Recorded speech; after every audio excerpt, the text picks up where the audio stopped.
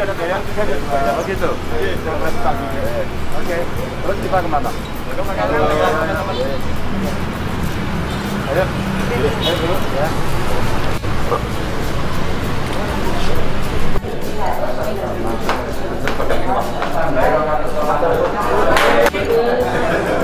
Kerja kali mas. Ada nomor handphone Ya. Ya,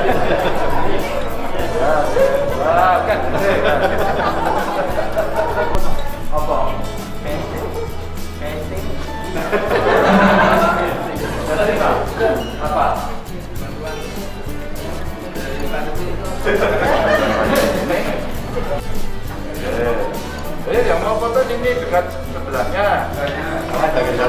Oh ya, oke. Ya, duduk. Ya. Kan pendamping. Oh, oke.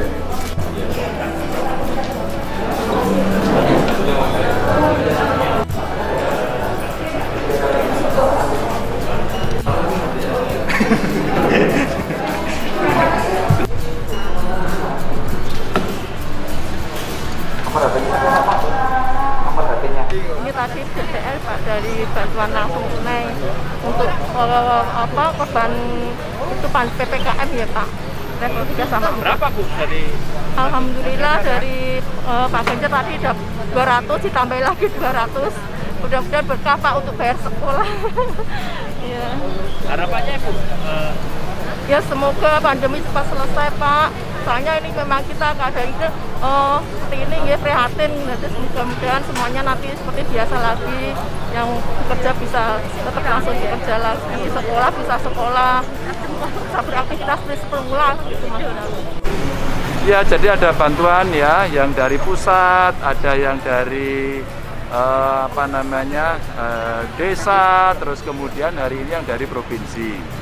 Sebenarnya kita sudah mengkonsepkan di tahun lalu itu bahwa bantuan-bantuan yang dulu sifatnya eh, apa kedaruratan kemarin kita internalisasikan ke dalam bantuan reguler dan datanya itu sudah fix sudah bagus maka hari ini kita eh, cairkan ya bantuannya itu agar eh, masyarakat yang terdampak ini bisa ya sedikit lah bisa membantu kebutuhan mereka. Programnya dinamanya apa mas?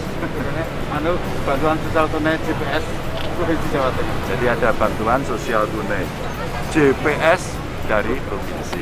Itu. Berapa yang Berapa mas totalnya? Hadis? 169 169.450 orang.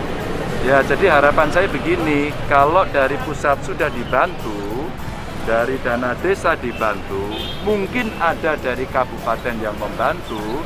Nah, selebihnya itu provinsi juga membantu. Kalau kemudian ada yang tidak tercover dari bantuan-bantuan ini, mereka bisa saling mengisi.